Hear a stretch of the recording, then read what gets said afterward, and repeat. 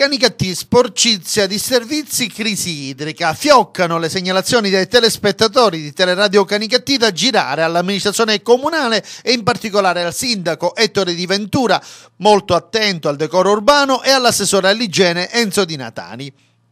Ieri abbiamo dato notizia del progetto di sistemazione della torre dell'orologio e questa mattina i residenti della zona hanno richiesto l'intervento delle telecamere di Teleradio Canicattì per le condizioni di degrado in cui versa la piazza Castello. Qui gli operatori ecologici non si vedono ormai da mesi e la pioggia ha portato via un po' di spazzatura accumulata ai lati della strada. Anche l'ingresso della residenza dei Bonanno, almeno quel che resta del castello, è pieno di erbacce e tenuto in condizioni di grande degrado.